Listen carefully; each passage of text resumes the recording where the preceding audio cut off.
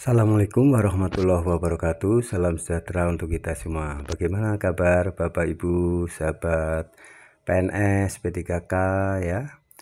Uh, Dan semuanya uh, Semoga dalam keadaan sehat walafiat Tetap semangat di dalam menjalankan tugas-tugasnya. Uh, Dan semoga selalu meningkatkan kinerjanya.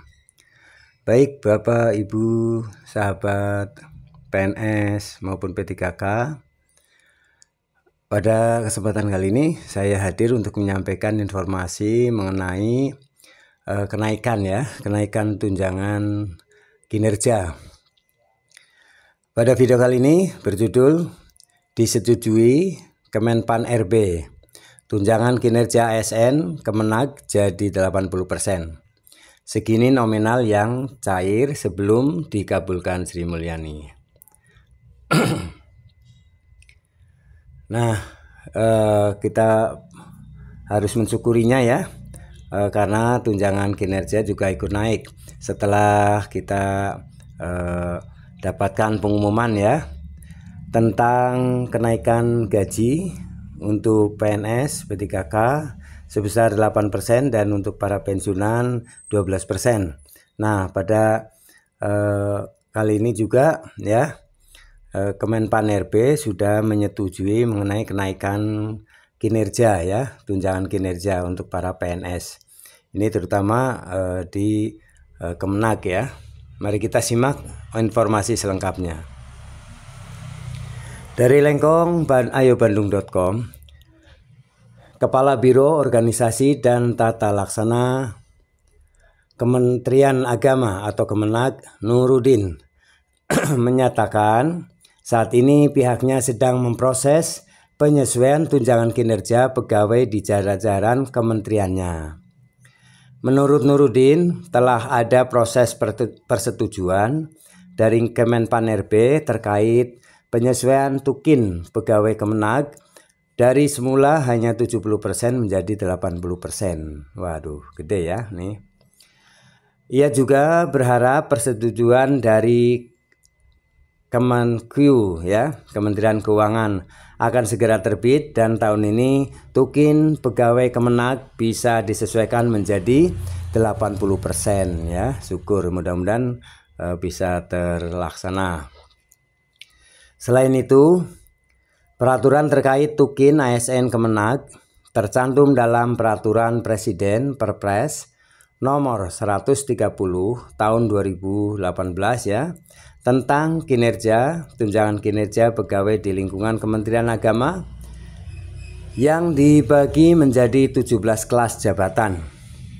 Berikut ini besaran tukin ASN Kemenag yang berlaku saat ini dan akan cair bulan depan sebelum kenaikan uh, tersebut disetujui oleh Kementerian Keuangan ya.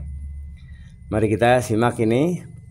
Untuk kelas jabatan ini dari tingkat yang tinggi ya. Untuk kelas jabatan 17 itu 29 juta 85 ribu rupiah. Kelas jabatan 16 20 juta 695 ribu rupiah. Kelas jabatan 15 14 juta 721 ribu. Kelas jabatan 14 11 juta 670 ribu. Kelas jabatan 13 8 juta 562 ribu. Kelas jabatan 12 7 juta 271 ribu. Kelas jabatan 11 5 juta 183 ribu. Kelas jabatan 10 4 juta 551 ribu. Kelas jabatan 9 3 juta 781 ribu. Kelas jabatan 8 3 juta 319 ribu. Kelas jabatan 7 2 juta 928 ribu kelas jabatan 6 2.702.000 kelas jabatan 5 2.493.000 kelas jabatan 4 2.350.000 kelas jabatan 3 200 2.216.000 dan kelas jabatan 2 itu 2.089.000 kelas jabatan 1 ini yang terendah adalah 1.968.000 ya ini untuk tunjangan kinerja Kemenag ya dari 17 kelas jabatan. Selain itu, Nurudin juga mengungkapkan bahwa indeks reformasi birokrasi Kementerian Agama 2023 tercatat meningkat dalam tiga tahun terakhir. Bahkan pada tahun lalu indeks RB Kemenag mencapai 78,18. Menurutnya kenaikan indeks RB tersebut tidak terlepas dari ikhtiar bersama Satuan Kerja Satker Kemenag untuk terus membenahi tata kelola in birokrasinya. Hal ini dapat dibuktikan dengan terus bertambahnya Satker berpredikat Zona Integritas Wilayah Bebas dari Korupsi atau WBK.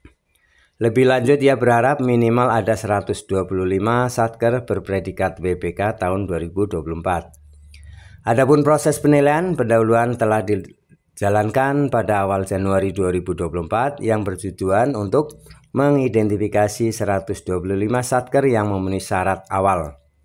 Kemudian pada tahun 2024 pihaknya menargetkan indeks RP Kemenak sebesar 82 ya.